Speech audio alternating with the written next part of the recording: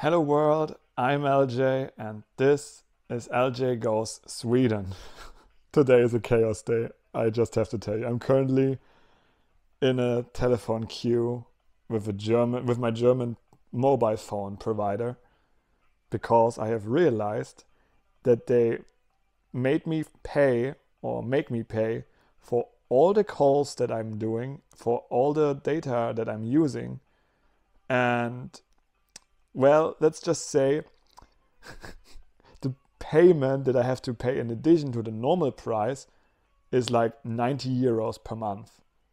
And the thing why this is really, really weird is the fact that they have sent me an SMS that they will charge me for the data on the 9th of March, so when I came back to Sweden.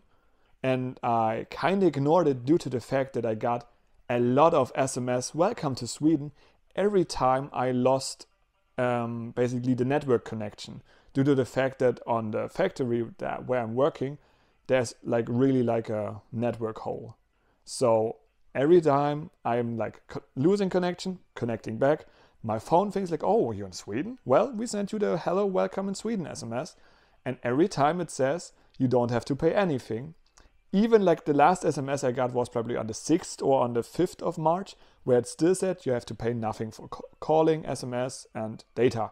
Well, then on the 9th, I ignored the message and now I read it today because got, I got another one. However, the paying for the data would be like not even 2 euros a gigabyte. So, and because I'm mostly using Wi Fi at home, only like for small time at work, it is like maybe like 3 4 euros. So, all the 90 euros that adds up are due to the fact that they made me pay for calling.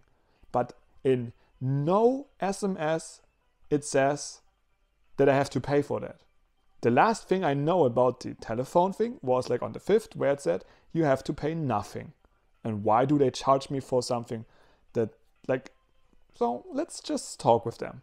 But I will not record so don't. Like it's just right now because I actually have something as planned. So this was, of course, just randomly coming up because I was actually planning on talking to a friend of mine in in 15 minutes. Okay, I just thought it's, but it's just like the random generated voice, and it's like, why do they put music on this on this telephone queue? It's always so annoying.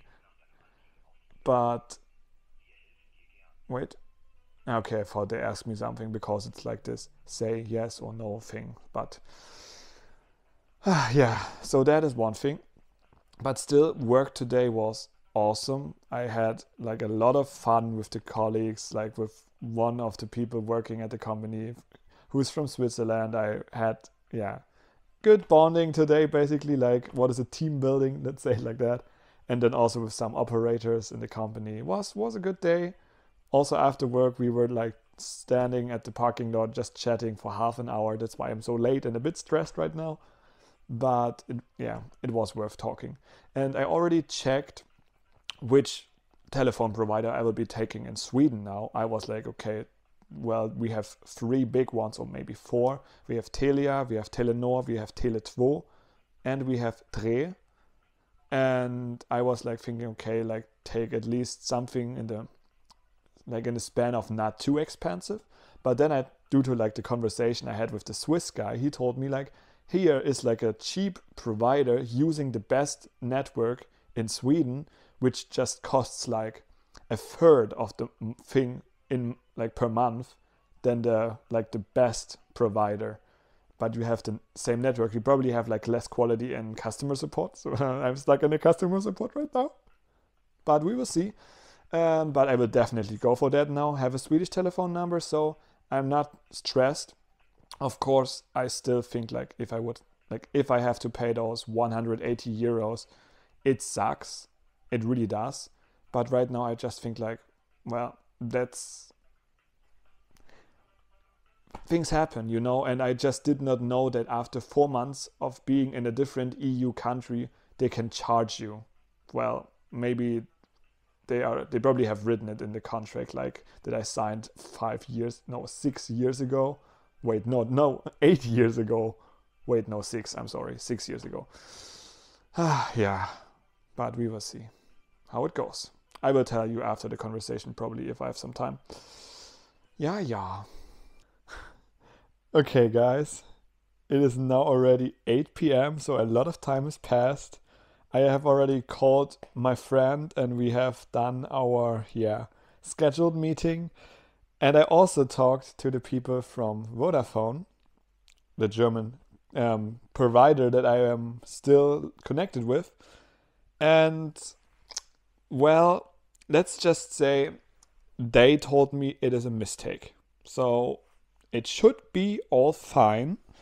Um, however, I'm slightly a bit curious now because the guy I was talking to told me he will give me a call back in like 30 minutes. And he said that at 6 and now it's 8. So I don't think he's going to call anymore today. But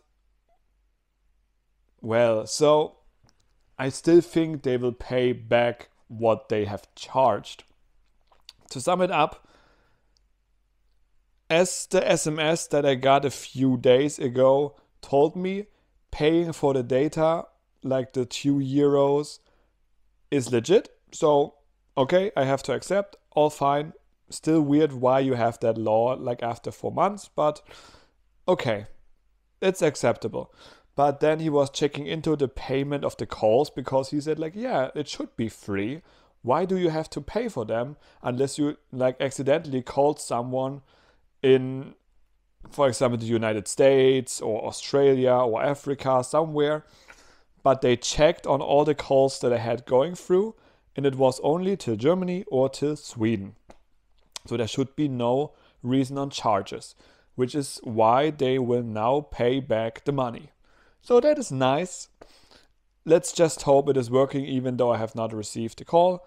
But still, kind of weird how that happened. So, if it's just because I have been so long here in Sweden already, and it's like bugging with the system, or if something else is wrong.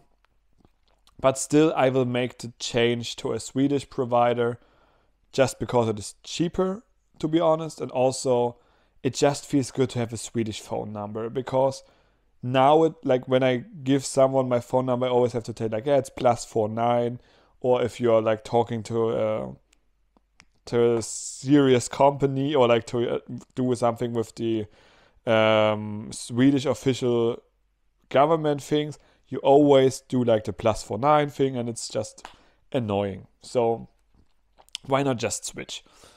Yeah. Um, and besides this, today just felt great. But I don't know, did I maybe already tell you guys that I was just so much in a rush? But it was a good time. It was really a good time today and I am looking forward to tomorrow.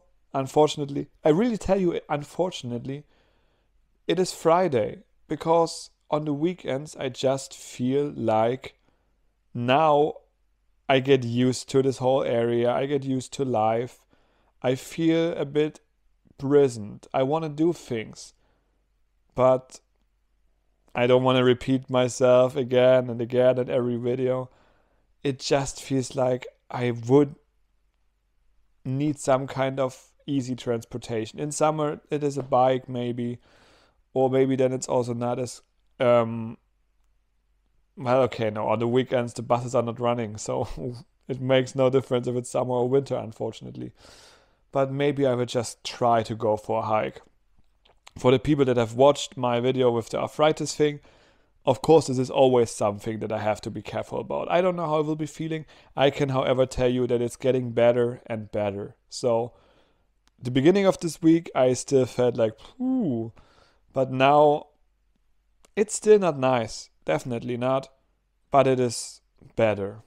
And maybe it gets better and it's worth to, yeah, go outside for a new direction that I've never been to and just discover something of the area would be nice. Would be nice. So we will see what happens. But it's not Friday yet. So, but wait, for you it is Saturday. Wait, yeah, it is.